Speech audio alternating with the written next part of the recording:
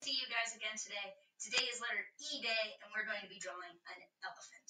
But before we get to that, let's check out your drawings that you sent me yesterday. Let's go on a gallery walk to see what we did yesterday. Lots of cool dolphin drawings were sent to me. I love the way that you each made your own unique and interesting. Jordan, I see those splashes coming off of your dolphin like he's really leaping out of the water. Claire, I like the way that you added that beach. Looks like a nice sunny beach I would love to visit. Down here, I see um, uh, Wyatt and his brother Levi and Sawyer. They made some really cool dolphins with lots of different interesting extra details there. Um, I see here, this is actually a pink dolphin, um, and Sawyer uh, told us a great fun fact that there are pink dolphins. Um, they swim in the Amazon River. So very cool to see that pink dolphin. Down here I see this bottlenose dolphin by Wyatt, and you've also included another D animal, the duck. Very nice. Alexa, love this bright rainbow. Just looking at it makes me happy. Kalina, you also used some rainbow colors there. I love that you made the block letter D and then you made the rest of the word dolphin. Here we have your dolphin jumping out of the water. Nice job. Same over here. I love um, a lot of you added nice details to the water. So the water didn't look flat. It looks like the water is moving and splashing with all these details inside of the water.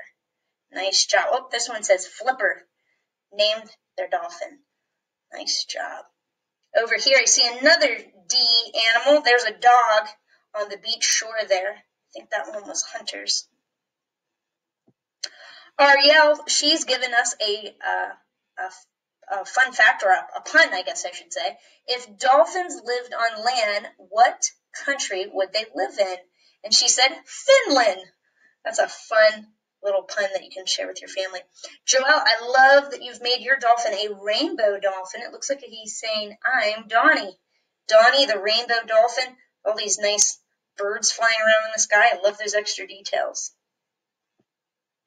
See, Melina drew with us today. Nice job. I like your dolphin jumping out. Nice bright sun in the sky here. Got another sun over here. Um, even though we all drew the same thing, we followed along with the same drawing. I love that I can see that you're adding your own details. You're making them unique. So here I see yellow sun, but here I see a much orange, brighter sun. Maybe that's an evening sun. Here I see DJ the dolphin. I think that was Caleb. Nice job. Coraline made her dolphin jumping out. Nice bright sun there. Um, Sadie and Mia Steele, they drew together. I see clouds in the sky. And Mia, I think, is this maybe a mermaid swimming with your dolphin? Very nice detail. I like that. Um, it says Bouncy the dolphin. She named her animal also. Erilyn has given us a fun fact. Dolphins breathe through their blowholes. And you can see she added that blowhole right there on top. Nice job. We have another pink dolphin. Maybe this is another Amazon pink dolphin. Um, this one was done by Lucas, and I like you added a big wave here for the dolphin to jump over top of. Very cool. The Brown brothers drew today, Mason and Ethan. Ethan, I love that you made your dolphin D a rainbow. That's creative. Nice job. Both of them showing that splash of water coming off. Well done. Zoe and Luke are down here. Um, there's some of our pre-K friends. Um, Zoe, nice job. I love these seagulls that you made flying above your dolphin. And Luke, you did a great job making your dolphin jump out of the water, and I see some splashes. Keep drawing. You're doing an excellent job. Down here we have some other friends. I see Cleo. She also made a pink dolphin. Pink dolphins are pretty popular. And uh, Ruby, nice job making your dolphin jumping out of the water. Great job thank you for sending those. I love to see what you guys are working on at home. Um, not only you, but also with your um, families when your siblings draw with you as well. Today we are going to be learning about uh, elephants a little bit, and then we're going to draw an elephant. Um, these are some facts I found from National Geographic Kids. Uh, here I see uh, all about elephants. An elephant is the biggest animal that lives on land. An elephant, um, an adult elephant, is much bigger than a truck, and you can definitely see that in the picture here and can weigh up to 14,000 pounds. A baby elephant is bigger than an adult cheetah. Hey, we just drew cheetahs the other day. Um, here you can see a baby elephant, and there's the adult cheetah. So much larger. Even though it's a baby, it still is quite large. Um, those elephant babies eat a lot and grow more and more each and every day. There are two kinds of elephants, African elephants and Asian elephants. Um, although they have the same body parts, they do have some differences. So here we see the Asian elephant, and here we see the African elephant. And I like these backgrounds. Maybe seeing these pictures of elephants can give you an idea of how you would like to make the background for your picture. Um, one thing that is different from the Asian and the African elephant is um, the African elephants are larger. They're the bigger of the two. Here you can see them side by side. So an Asian elephant, an Asian elephant has a rounder head and has a bump on the top. Not all Asian elephants have tusks, um, but all African elephants do have tusks. Um, and today, when we're drawing an elephant, you can decide if you want to add some tusks um, to make it an African elephant, or if you want to leave the tusks off um, and make it an Asian elephant. Those tusks that you see coming out of the elephant, they um, are a large tooth. And that tooth continues to grow bigger and bigger as the elephant gets older. So that is a little bit of the differences between the two types of elephants, the Asians and the Africans. And just to show you here in our world, those um, elephants are coming from two different continents.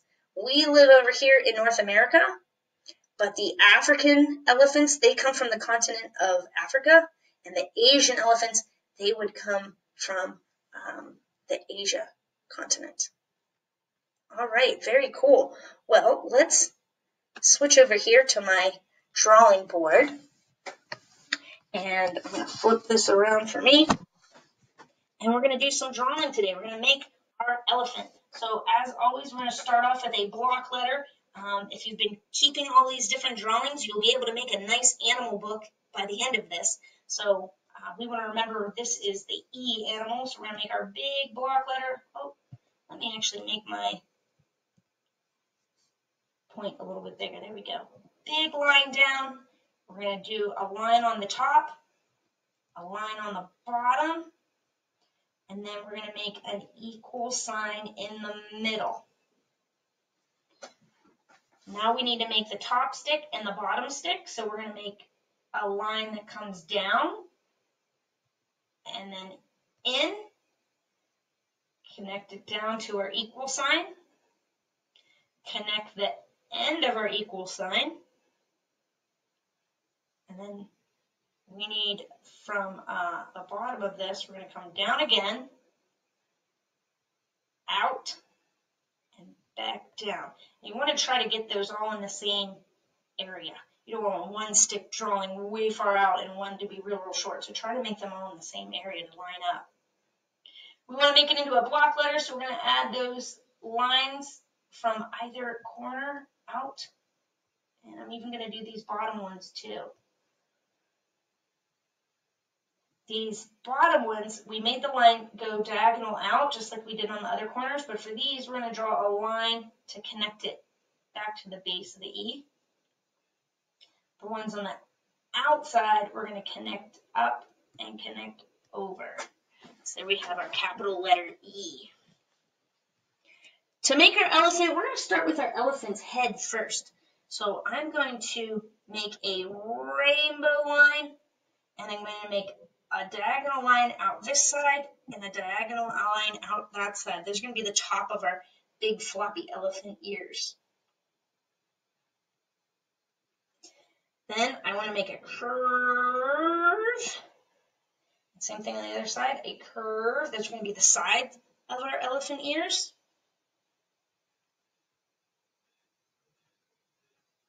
And then I'm going to make the bottom of the elephant ear come up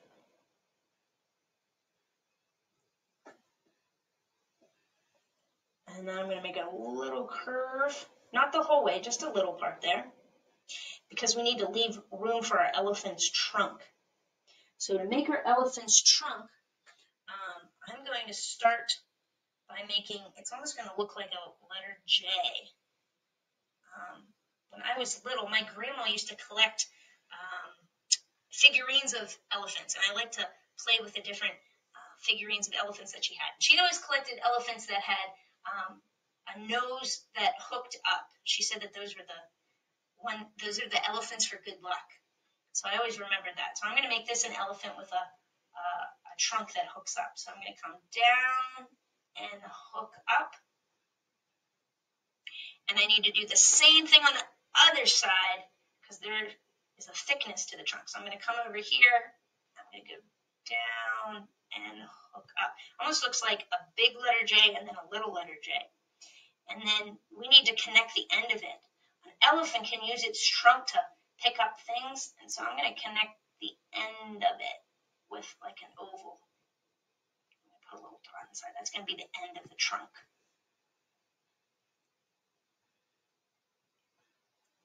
Now, if you want this to be an African elephant, we learned that the African elephants have those long um, tusks. So if you want to make the long tusk, that's why I left this spot here. So I'm going to make um, a little rainbow line here. And then I'm going to make a long curve out and curve it back in. You can make your tusks as long as you would like. Remember, those tusks, they keep growing as the animal gets older. So if it has very, very long tusks, you probably have a very old elephant. If it has shorter tusks, it's a much younger elephant. I'm going to connect my uh, ear back in there. I need to make my elephant tusk on this side too. And I'm going to try to make them about the same side. So I'm going to come out. It's like a backwards letter J. And I'm going to curve right back in. So we have two elephant tusks. And so we know this must be an African elephant with those tusks because we learned the Asian did not have tusks. For my elephant, I'm going to make my elephant happy. So on this side, I'm going to make a line that comes up, make a little happy face. On this side, I'm actually going to make it go up a little bit longer to about the, the middle or the top there. And I'm going to use that to be the spot where I'm going to put an eye. So I'm going to make a circle eye on that side of the trunk and a circle eye on this side of the trunk. Make my elephant looking at us. Now we have a nice looking elephant head. Let's go ahead and add our elephant body. Um, I'm going to start, I guess I can start here. Maybe we can start out of his, out of the top of his head. We'll make a great big back. How about that? Let's start on the top of his head and make a great big rainbow line for a big elephant back. And then we're going to make some elephant feet down here. So um, I'm going to make my elephant foot, I'm going to have it come out towards the bottom. You can kind of eyeball it where you would like your elephant feet, uh, but I'm going to make mine, we want it right under that head. So I'm going to draw a line that comes down, and we're going to curve it at the bottom. And then we're going to make a line that comes up. It's going to be one elephant foot. And then I'm actually going to put a little curve line there. That would be like a little bit of his belly showing. And then I'm going to make a line that comes down, smile line, back up. We got leg number two. And then um, let's make him have some feet back here. So I'm going to go on the end of my rainbow line. I'm going to come the whole way down. And I kind of want to make sure that it lines up with my other feet. So I don't have one long foot and one short foot. So this looks to be about the same spot. I drew the whole way down, rainbow line, and come up. And this belly line that we started in the front, let's continue his belly over. And then we need one more elephant foot squeezed in back here. So I think if I come down, smile line, and go back up, we've got our one, two, three, four elephant feet. They're great, big, strong feet. And we can go ahead and add on, I'm going to add on like upside down U's to give him some great big elephant toenails. That's a nice detail to add. Oh, we need to make sure that we add our um, elephant tail on here. We come down with a curved line and down with a curved line, close together. And then I'm going to put an upside down U and connect it. And you can put little lines in there to make it look like the hair on the end of his tail. All right, that looks pretty good. I'm going to make sure I put in my ground line so I don't just have a floating elephant. I'm going to pretend it goes through there. I guess it would come out on this side about here. And this, of course, is the fun part for you. You get to decide how would you like to um, color in your elephant. I'm going to make a nice gray elephant. Get him filled in there. Um, another thing that might be fun to do, um, that's a good detail that you can add to your elephant, is, whoops, you can add some wrinkle lines. let me show you what I mean. Elephant skin is very, very wrinkly. So if we go, I'm going to go right here above all of his different uh, legs. I'm just going to add a couple more little lines. See how it makes it look like he has wrinkly skin? Just by adding those few extra lines. Um, another good place to add wrinkle lines on your elephant would be on his trunk. But you can decide where else you would like to put wrinkle lines. I'll put a couple wrinkle lines there. I'll put a little wrinkle lines on his ear. Those are showing that he has wrinkly skin. So that's a good detail that you can add. You may color your elephant however you would like. I'm going to try to color him um, like one of the pictures we saw at the beginning, where he was walking on the open plains, and then there were great big uh, mountains behind. So let me see if I could draw some great big mountains back here. I'm going to go behind my letter E, make a big mountain, big mountain. I'm drawing it behind because your elephant is in front, so we can't see the entire mountain. fill those mountains in. And maybe I'll add some trees. Let's get some trees. They're they're little, they're small because they're far away in the distance. Far away in the distance. You, of course, you may make yours however you would like. I'm always excited to see what you end up choosing to do for your um, different designs. Um, I'm going to make some lines for my trees there. And then maybe to make it look like some grasses, I'm going to draw some grass lines. So it looks like the grasses. Oh, I almost forgot. We gotta, gotta color in our letter E for the day. And oh, let's do some blue. Boop, boop. Mm. Sometimes it's hard for me to get in that little area.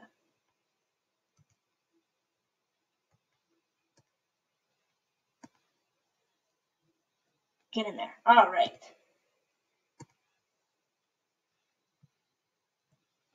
I think we have a pretty nice looking um, elephant there now.